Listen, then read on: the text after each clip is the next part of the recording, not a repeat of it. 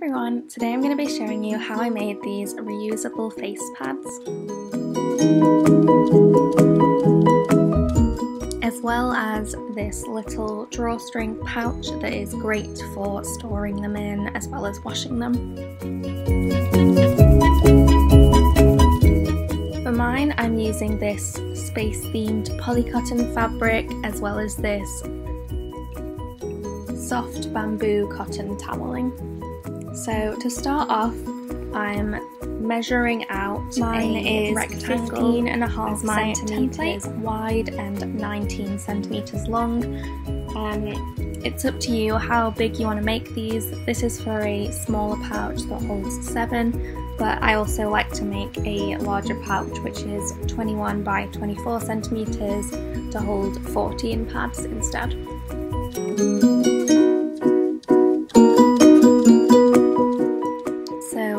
My templates. Um, you can see I have two markings at the top on either side.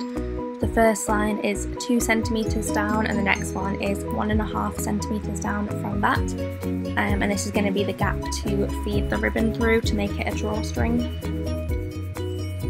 And I've also cut out this little square which is seven and a half centimeters by seven and a half centimeters.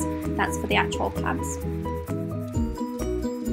And now I'm just cutting these out. So my pouches, I want two pieces of each. And then for the actual face pads, for the small pouch, I'm going to cut out seven squares and 14 for the larger pouch.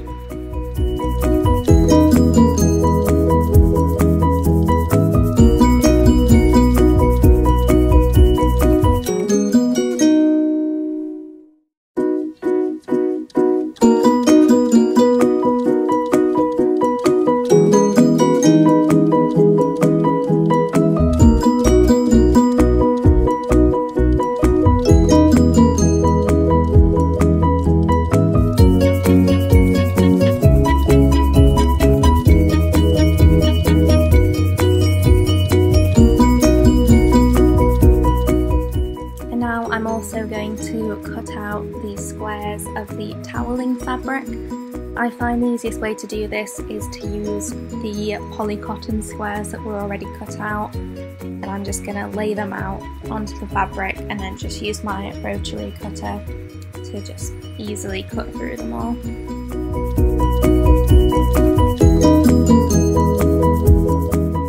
So first of all on the pieces I'm just marking where the channel will be so I know to not sew across that. I'm just going to clip those two pieces together, right sides together. And when I sew this together, I'm going to make sure that I don't sew across the gap between those two lines. Um, you don't need to cut the thread or anything. And I'm also just going to prepare the pads, so I'm putting the right sides together of the poly cotton squares with the toweling squares. Starting with the pouch, I'm just going to use a regular straight stitch to stitch this together. I'm using a seam allowance of half an inch.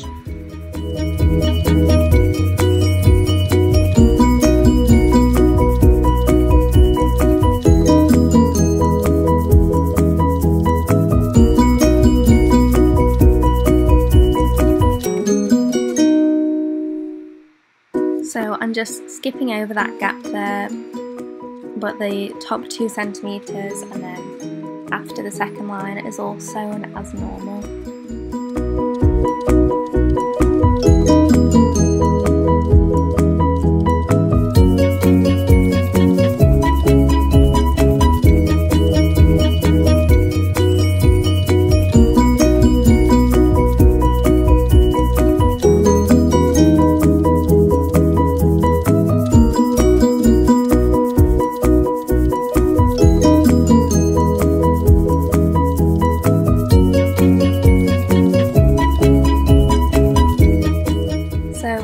Sewn together, I'm now taking some pinking shears and just trimming the edges off to prevent any fraying. You could also use an overlocker, but I would overlock before you stitch those two pieces together because otherwise it won't leave the gap that you need for the channel. And I'm just doing the same on this side, leaving that gap. So now I've just turned it right side out and I'm going to fold my channel in place. So first of all I'm opening up that seam there. So it's flat, you can, you can press it if you want um, and you can see where that gap is.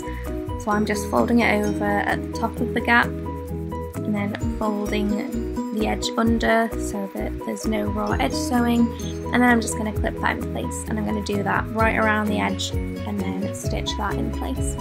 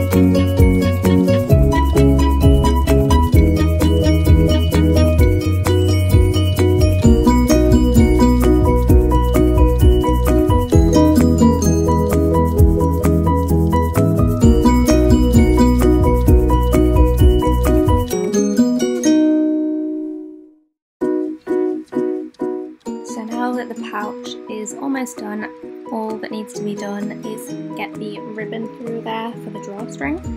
So this is the ribbon that I'm using. It's 7 millimeters wide uh, and this just happens to be black. Um, so to figure out how much you need, you're going to want to take a piece that's about double the width of the bag and then add on like 10 centimeters so for my small bag I'm taking a 40 centimeter piece of ribbon and need two of those. For the bigger bags I do 50 centimeters.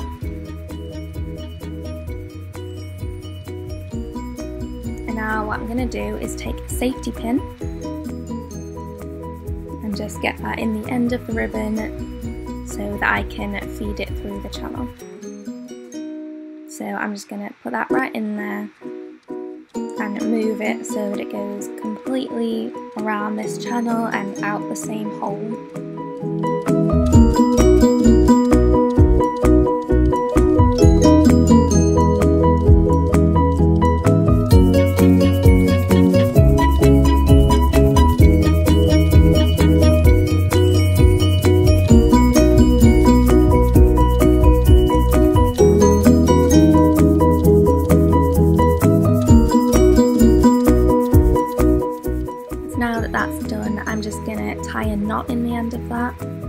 I usually double knot it just to be secure.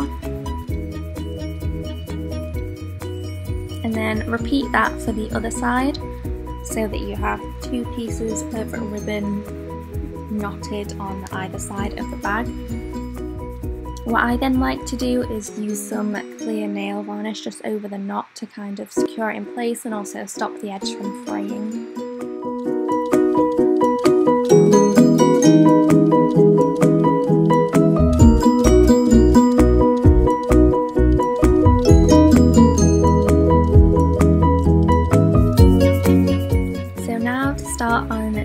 Pads, I'm making sure that my pieces are right sides together and then I'm just going to sew in a square around the edge there. And I'm leaving a little gap of about an inch across to turn it back through afterwards.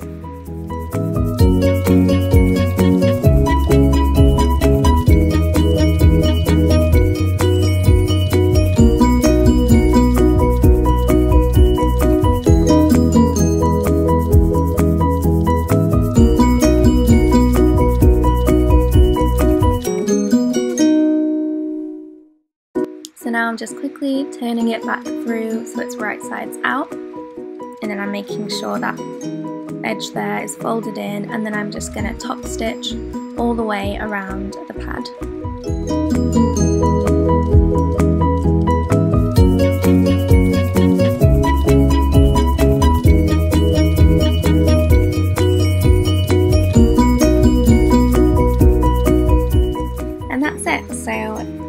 Is the completed pouch.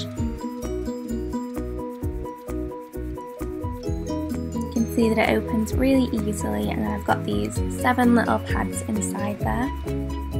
The fabric used is really soft, it's really nice for your skin and it's really nice that you can use whatever fabric you want for these, any design you want. And then here is my larger pouch as well, just so you can see the size difference. But of course you can make these any size that you want. And here are some others that I've made, some nice strawberry ones, as well as these bee ones. These are all available on my Etsy as well. So please let me know if you have any questions and thank you for watching.